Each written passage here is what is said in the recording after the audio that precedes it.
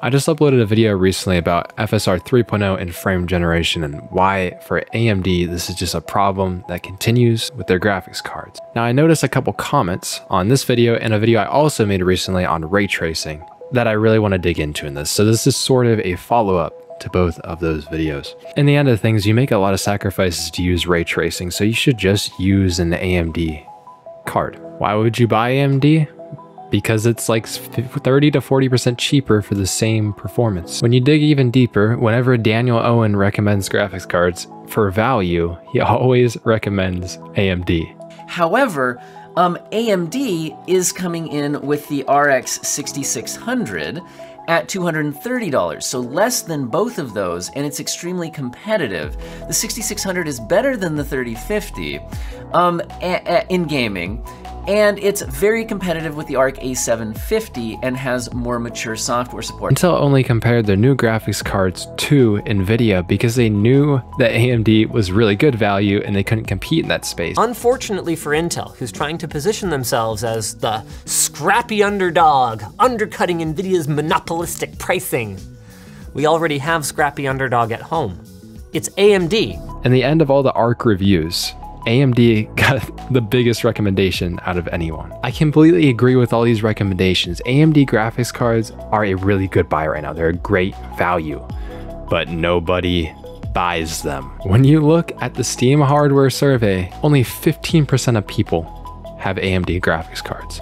And 4 to 5% of this is just integrated graphics. When you're comparing it to NVIDIA, NVIDIA doesn't even have integrated graphics. If they did, they'd probably be rolling. This isn't to offend anyone whatever GPU you have, it's okay. Okay, you buy your own stuff and you're free to do whatever you want with your money. Buy NVIDIA if you want. You're buying into the majority, but buy into NVIDIA. You can buy into AMD. It is important to note when you talk about the majority of gamers, people getting into PC gaming, especially from a value perspective, most people get recommended things or they see the first things that are available. NVIDIA has an upfront advantage of just brand recognition. Now that that is a simple concept to understand.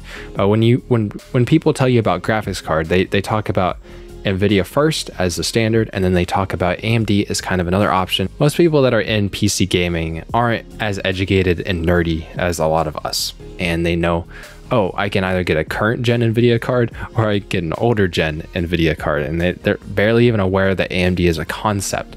And if they are aware that they're a concept, they view them because their cards are cheaper as second. It's really hard to break that mold, especially because most people think of AMD as that brand to have bad drivers, have driver issues all the time. Now, this isn't true.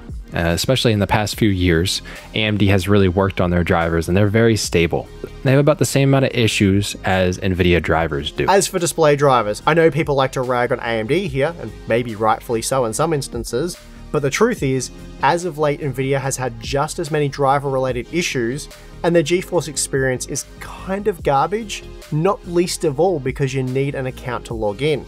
The interface is now very old, it's in desperate need of an overhaul, and features for stuff like Shadow Play are severely lacking when compared to Radeon Relive. So if you're arguing that NVIDIA has perfect drivers, then AMD is a close second. Now I haven't experienced this myself, but I am willing to go off of the recommendations of other people. Drivers shouldn't be an issue at this day and age. But again, hard to break that mold, hard to break that stigma that people have about AMD. I talked about this before, but AMD is always late to their technologies. And I, if you want to check out that and my whole explanation of why that is the case, they're late with ray tracing, FSR, FSR3, they're late with their encoders, just a whole lot. If you want to hear that, watch the other video. But all these technologies that AMD makes are open source which I really respect them for making them open source. And a lot of people can work with their software. They can use their APIs and bring it to more games and more features and different programs. However, if you have this technology and it isn't exclusive to your brand, it doesn't give many people a reason to buy your graphics cards. Now, the way that AMD would have to fix this is actually to make a technology first. If they want to stick to their rationale that all of their software is open source and people can work on it and it's more accessible to the public. They'd have to make some kind of technology first and beat NVIDIA to the punch so that when they make their graphics cards, all of a sudden AMD is the brand that is in people's heads for this amazing technology that they just created. There's also this sad truth that many of us are aware of.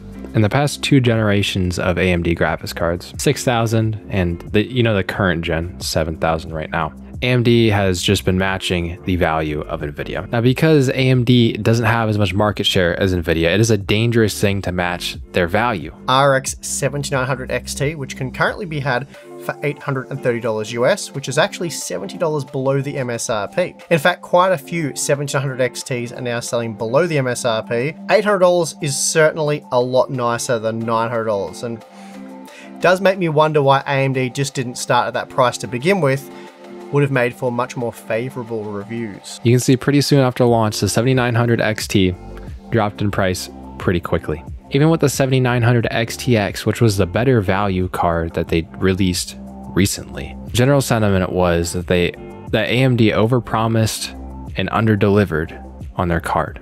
It wasn't enough that people wanted to give up Nvidia. This is this is just a sad truth, guys.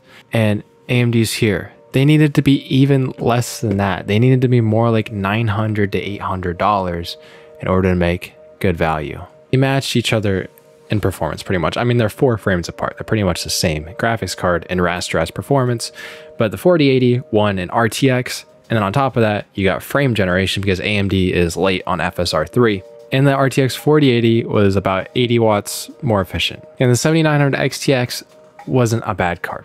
Uh, and it still is a very great card, all things considered. But didn't push people over the edge to switch to AMD like they were hoping. Back when they announced this card, it was super, super hype. So we saw here in, at 4K over the 6950 XT, it was getting across the board about 1.5 times the performance. And everyone in the GPU community uh, was taking this with a grain of salt. You know, this is marketing speak. It was probably around 1.4 times to be more accurate. When we got the actual benchmarks, the 7900 XTX was only 34% faster than the 6950 XT. All this shows is that it feels like AMD is trying to lie to us instead of being honest about their graphics cards. So they almost inflated their price like it was going to be better only to let us down when the actual numbers came in. At 1440p, the results were even worse, generally speaking. It was only 25% of 1440p. Now, these all these benchmarks that I'm showing here, these are from Hardware Unboxed, so go ahead and check them out. They also said that the card only drew 355 watts, which was true, but they flexed this like it was a very good point. But as we saw, 4080 is more efficient. So this was just a non-point Come on, AMD, we just want to trust you. Yes, you always take marketing with a grain of salt. NVIDIA also completely inflates their marketing as well, especially with DLSS 3. But we saw through that pretty quickly. And then we actually saw that their performance numbers were decently accurate. It feels weird because it's almost like these two sides of Radeon just aren't talking to each other because the open source software is so transparent, but the marketing for their graphics cards aren't.